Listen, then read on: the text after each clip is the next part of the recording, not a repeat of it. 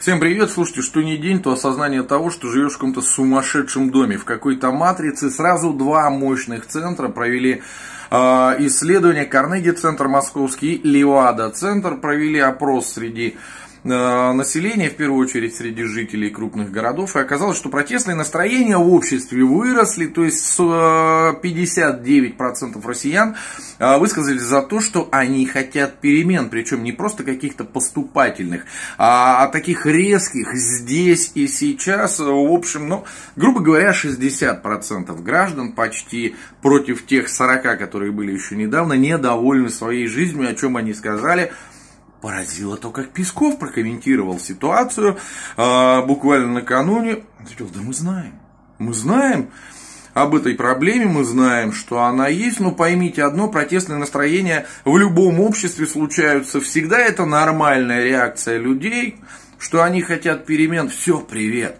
Я обалдел, если честно, потому что, ну, в моем понимании, да, господин Песков вообще представители власти после такого опроса должны были насторожиться, должны были собрать какие-то резкие экстренные совещания, да, начать что-то делать, приступить к каким-то действиям. Не, мы знаем.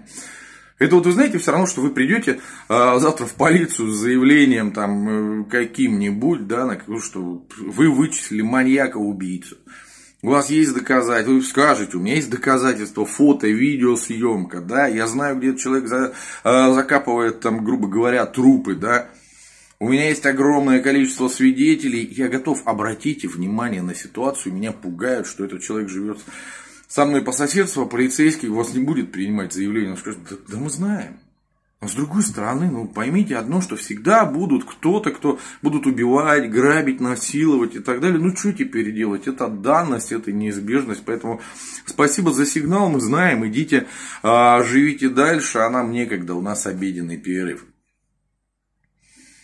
Ну, я считаю, что это уже верх цинизма, в принципе. Э, это говорит, в очередной раз подтверждает только то, что они уже привыкли вытирать о нас ноги. Ну а коль скоро мы терпим, значит нам все это нравится. И в принципе я не думаю, что будут предприняты какие-то шаги. Может быть пару-тройку каких-нибудь никому не нужных, малоизвестных чиновников, там, губернаторов, может быть, даже, а где-то уволят, ну как уволят, переставят на другую должность, в какой-нибудь Совет Федерации отправят. Ну а мы как жили, так и будем жить в этом, простите, Г. Удачного дня.